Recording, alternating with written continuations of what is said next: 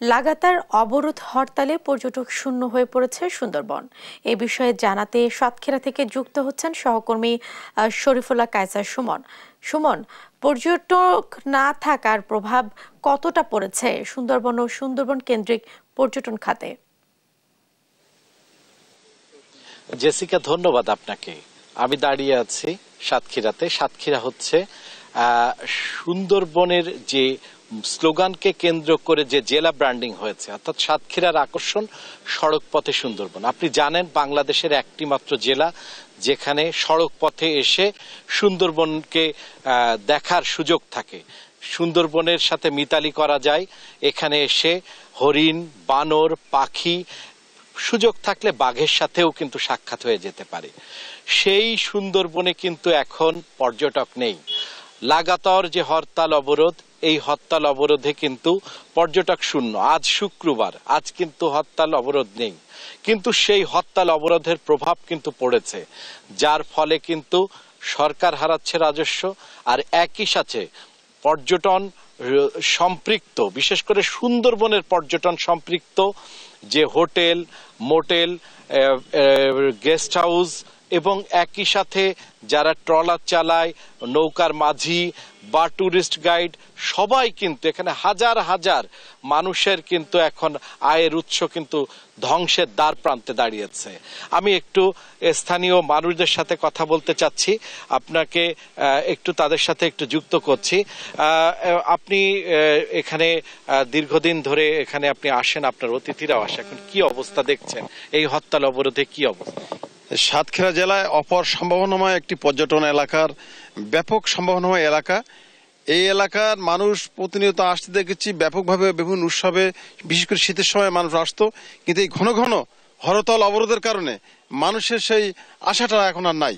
যার আমরা যেমনটা শুনছিলাম একই সাথে একটু বলে রাখা দরকার এখানকার সবচাইতে বড় যে হোটেল মোটেল টাইগার পয়েন্ট। সেই টাইগার পয়েন্টের কর্ণধার তিনি কি বলছেন? আমাদের এলাকায় যে অবরোধের কারণে এখন আমরা যে এলাকায় সবচেয়ে বড় রিসোর্ট হিসাবে সেবা দিয়ে থাকি কিন্তু যেহেতু মানুষ না হলে কাদের সেবা দেবো? তো আমরা সে সেবা দেওয়ার মানুষই পাচ্ছি না। এই অবরোধে সবকিছু স্থগিত হয়ে গেছে।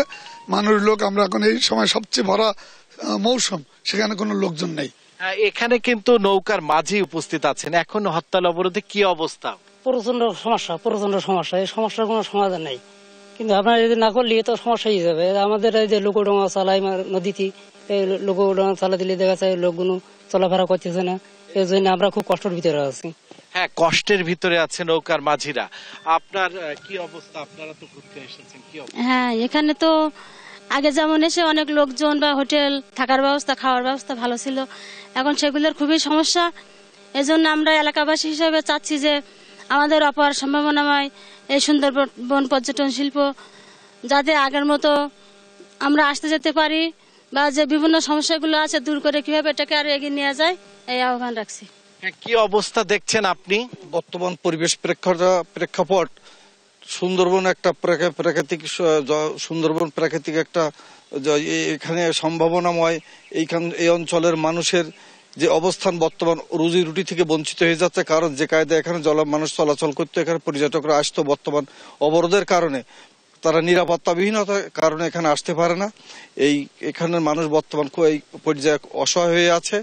বর্তমান আমরা চাই সরকার পরি- পরিবেশ প্রেক্ষাপটে এই অবরোধ থেকে নিরাপত্তা পায়, মানুষ যাতায়াত করতে পারে এবং পর্যটককে ফিরিয়ে নিয়ে আসতে পারে, প্রাণ ফিরিয়ে নিয়ে আসতে পারে, সেজন্য আমরা দৃষ্টি আকর্ষণ করছি সরকার এখানে ছোট্ট ছোট্ট শিশুরা উপস্থিত আছে। জেসিকা আপনাকে বলে রাখা দরকার যে প্রধানমন্ত্রী শেখ হাসিনা এখানে এসে কিন্তু সাতক্ষীরাতে এসে এই যে পর্যটন জেলা ঘোষণা করবার পরে একটি অপার সম্ভাবনা সৃষ্টি হয়েছিল এবং এখানে কিন্তু ব্যাপকভাবে পর্যটকে ভরপুর হয়ে গেছিল। যার ফলশ্রুতিতে এখানে কিন্তু একেবারে সড়ক পথে এসে আকাশলীনা যে সুন্দরবনের যে একটা বড় আকর্ষণের জায়গা আকাশলীনা, তার পাশাপাশি কলাগাছিয়া, দোবেকি, কাকা দোবেকি, এসব জায়গায় ঘুরতে মানুষের যে সাংঘাতিক, বিশেষ করে হেমন্ত থেকেই কিন্তু শুরু হয়ে যায় পর্যটকদের বিপুল আনাগোনা। হেমন্ত, শীত এবং বসন্ত, এই এই তিনটা ঋতুর ছয়টা মাস একেবারে ছয়টা মাস কিন্তু ব্যবসায়ীদের বিশেষ করে পর্যটন সংশ্লিষ্ট যেসব ব্যবসায়ী নৌকার মাঝি বা এই সংশ্লিষ্ট যারা আছে, তাদের কিন্তু এটি একটা এটি একটা আয়ের বড় জায়গা ছিল। কিন্তু এই জায়গাটি কিন্তু ধীরে ধীরে ধীরে ধীরে এই ধরনের পরিস্থিতির কারণে এই রাজনৈতিক অস্থিরতার খেসারত দিচ্ছে কিন্তু রাজনৈতিক অস্থিরতার খেসারত কিন্তু দিচ্ছে এই পর্যটন খাতের এই শিল্পটি। তো এই সুন্দরবন বাংলাদেশের মানুষের জন্য, একটি বাংলাদেশের সরকারের জন্য একটি অপার সম্ভাবনার একটি জায়গা, রাজস্ব আয়ের একটি জায়গা। এবং এটি কিন্তু দেশি না, দেশি বিদেশি পর্যটক টানবার সব থেকে বড় যে দুইটি জায়গা সেটি হচ্ছে সুন্দরবন এবং কক্সবাজার। কিন্তু সেই দুটি শিল্পই, সেই দুটি জায়গা কিন্তু প্রায় আজকে শূন্যের কোঠায়, আজকে পর্যটন শূন্য অবস্থা সৃষ্টি হয়েছে। এই ছিল সাতক্ষীরা সুন্দরবনের যে পর্যটন শূন্য অবস্থা সৃষ্টি হয়েছে, যে যে চিত্র তার সর্বশেষ, জেসিকা। সুমন, আপনাকে ধন্যবাদ।